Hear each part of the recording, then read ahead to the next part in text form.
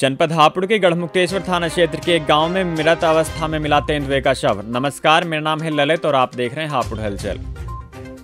जनपद हापुड़ के थाना गढ़मुक्तेश्वर क्षेत्र के गाँव सोगढ़ में तेंदुआ मृत अवस्था में पाया गया है। खेत में मृत तेंदुए का शव देखकर ग्रामीणों में हड़कंप मच गया। सूचना मिलते ही तेंदुए का शव देखने के लिए मौके पर ग्रामीणों का तांता लग गया और मौके पर भीड़ जमा हो गई।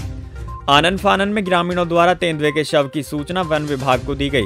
सूचना मिलने के बाद वन विभाग की टीम मौके पर पहुँच गई और मौके पर पहुंचकर तेंदुए के शव को कब्जे में लेकर मामले की जाँच कर रही है।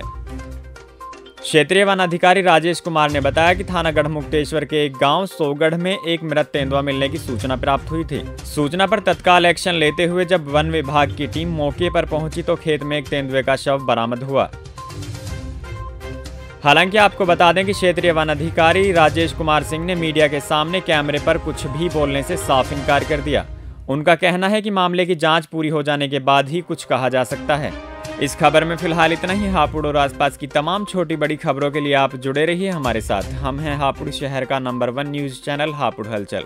नमस्कार। जनरल कंपटीशन की राजधानी चक्रवर्ती मैथमेटिक्स चक्रवर्ती मैथमेटिक्स अब आपके शहर हापुड़ में भी 28 सितंबर से चक्रवर्ती मैथमेटिक्स का शुभ आरंभ होने जा रहा है। तो हमारा पता है, इको बैंक के पीछे फ्रीगंज रोड हापुड़ में। आप तमाम जनरल कंपटीशन के छात्र छात्राओं के लिए सुनहरा अवसर तो याद रहे मैथ का नया बैच 28 सितंबर से चक्रवर्ती मैथमेटिक्स में शुरू किया जा रहा है। और इस बैच के लिए होगा एक शानदार जानदार धमाकेदार ऑफ़र।